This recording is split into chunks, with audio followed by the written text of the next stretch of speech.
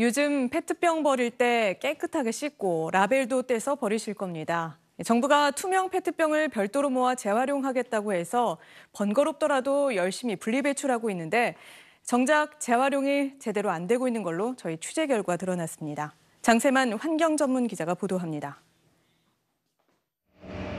아파트 단지에 찾아온 재활용품 수거 차량.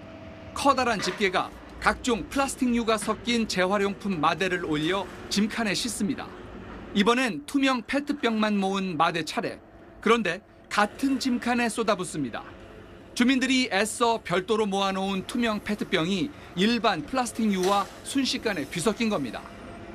경기도의 한 재활용품 선별 업체도 상황은 마찬가지.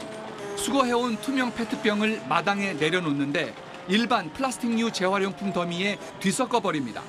그냥 다 아, 그냥 섞어서 그냥 하는 거죠.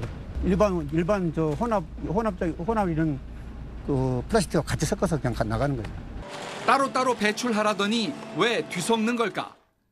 정부 방침은 라벨이나 이물질이 제거된 순도 높은 페트병만 따로 모아 의류용 섬유 생산이나 식품 용기에 다시 쓰는 고품질 재활용을 늘리겠다는 거였습니다. 이렇게 하려면 선별 업체마다 기존 플라스틱 선별 라인과 다른 별도 시설을 갖춰야 합니다. 하지만 환경부 점검 결과 전국 민간 선별 시설 155곳 가운데 투명 페트용 선별 시설을 갖춘 곳은 33곳으로 전체 21%에 불과한 걸로 드러났습니다.